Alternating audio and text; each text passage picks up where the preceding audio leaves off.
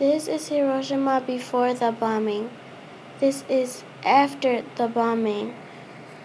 The Enola Gay B-29 bomber had dropped the bomb Little Boy on Hiroshima.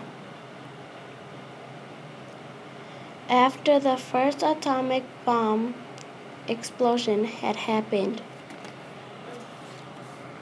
Paul, Paul W. Tibbs and his crew, pilot of the Enola Gay, he had dropped the atomic bomb with his crew.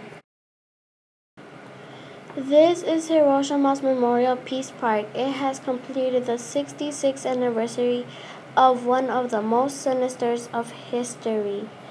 This is the Fat Man and the Little Boy atomic bomb that was dropped on Hiroshima at 8:15 in the morning.